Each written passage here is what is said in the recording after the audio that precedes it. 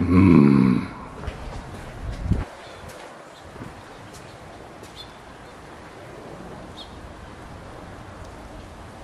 Winter is coming.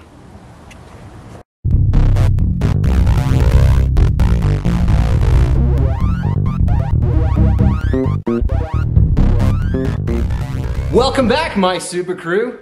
Winter is coming. Winter is already here. It's not even Halloween yet.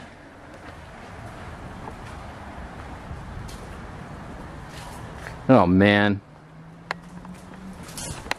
Speaking of Halloween, did you see my spooky catacomb crawl video? Not WRX related. But I'll put a link here if you're interested anyway. It is October. Thought I'd put something fun on there. So, what are we doing today? Because winter is upon us, let's get some all season floor mats. These are Oedro. I don't know. Why do my boxes always show up like they've been through a war zone? We'll open those up, see what they look like, and get them put in. They are supposed to be WRX specific, so hopefully we get a good fit.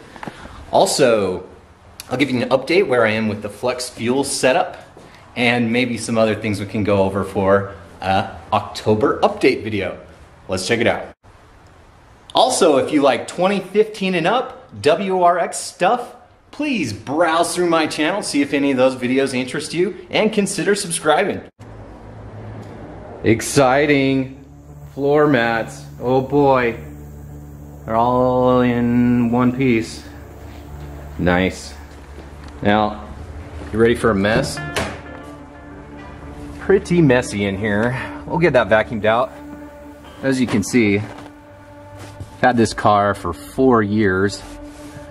It's getting about all the way worn through this mat here. Let's get that cleaned up, see what the new ones look like in there. Holy crap. That was wore all the way through. Whoops. All right, let's get it cleaned up in here. Here's also something kind of cool. Picked myself up a foam kneeling pad. It's kind of nice doing work around the car. Kneel on here, getting it vacuumed out. I'm just using a regular house vacuum. And you want to use an attachment like that with a brush on it so you can agitate the carpet and help bring it up. A lot better than it was, not perfect, but we'll get it a little more cleaned up, maybe clean up the trim pieces as well while we're down here. And so you got the two hooks on each side that hold the factory floor mat. Now the new one should have those same hole locations so they'll stay in place so you're not tripping around on that. Just gave it a good once over. A lot better than it was at least. And let's try out this guy. Now, has anyone else tried this brand? How does it compare to WeatherTech? Let's find out. Let's see if these line up with the fingers in there.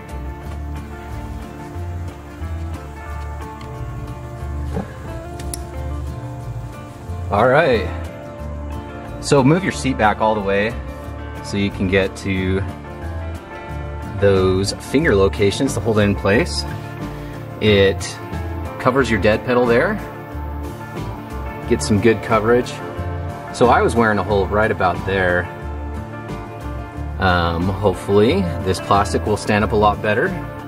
When you got snowy, wet feet, keep the carpet underneath nice and dry. But look at that fitment, yeah. It contours pretty well.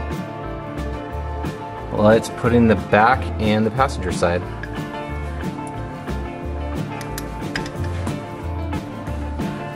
All right, we got the floor mats in. Got it all vacuumed out. Let's see what the passenger side looks like. I'm pretty happy. It lines up pretty well to meet the angles of how it was from the factory. Looking pretty good. It also does include one piece to go across all of the back. Then going over the drive set shaft location is covered as well. And back there, pretty cool.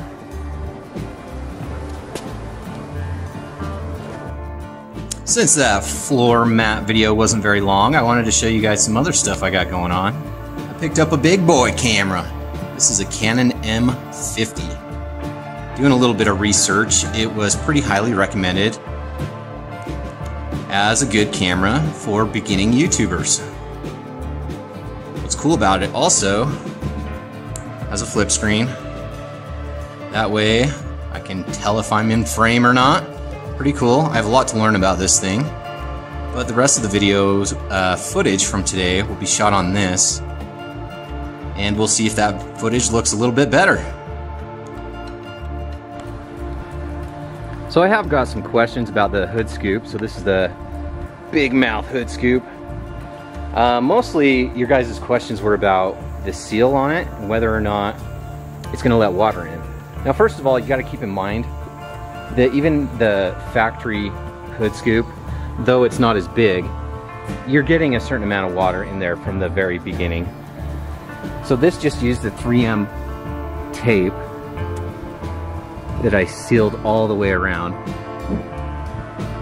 Now, I noticed some spaces on the tape did want to lift up a little bit. I would say if you were going to go this route, to keep an eye on it the first few days you have it put on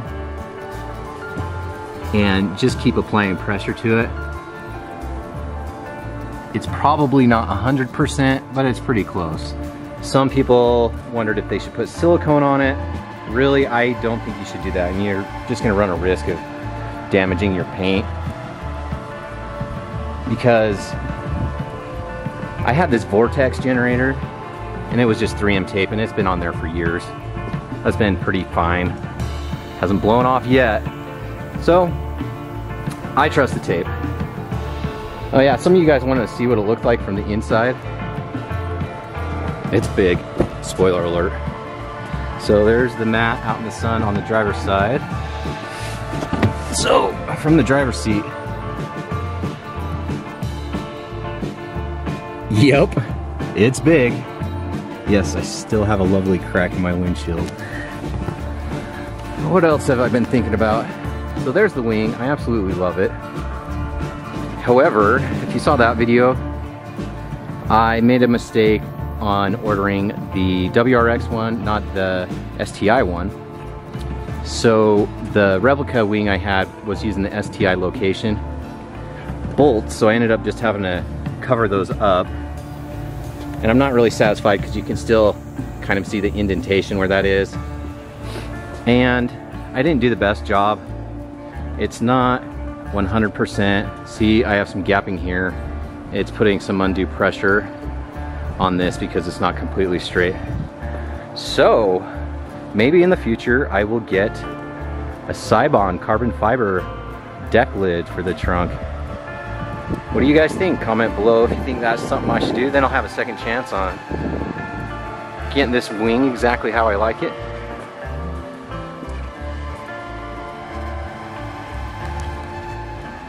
Ooh, I got me some Evl X stickers. That adds three horsepower per sticker.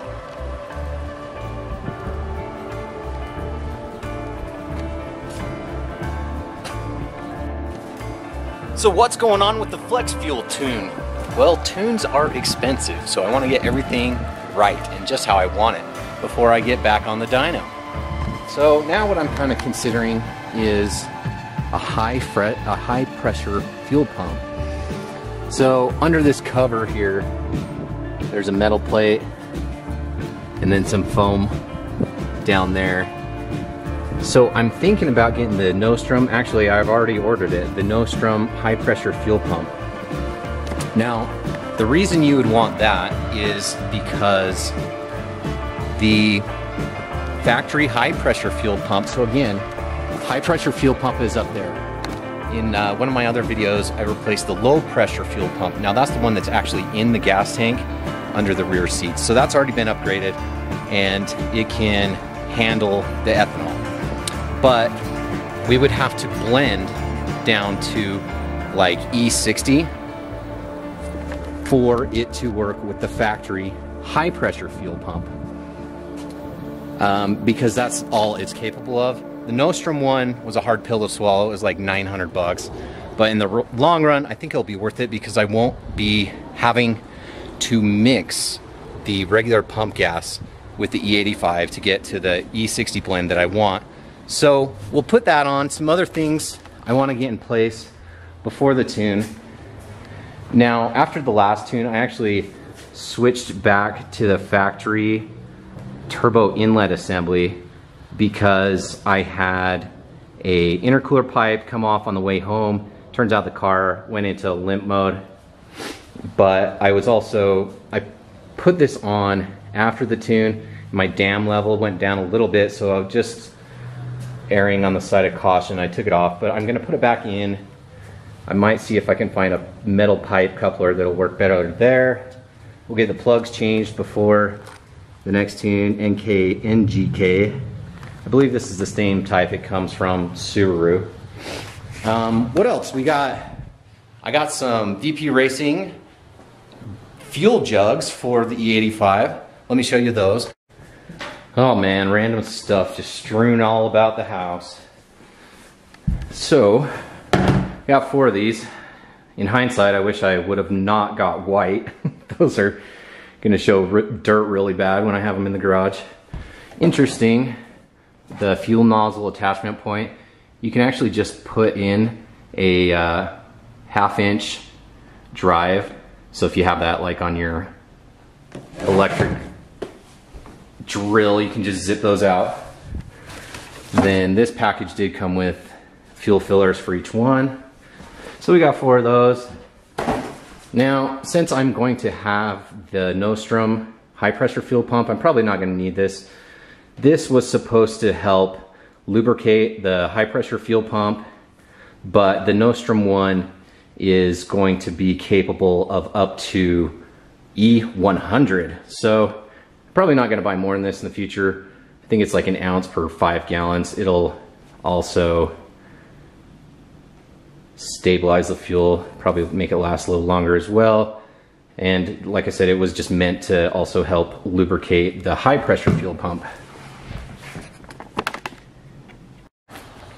Back outside again.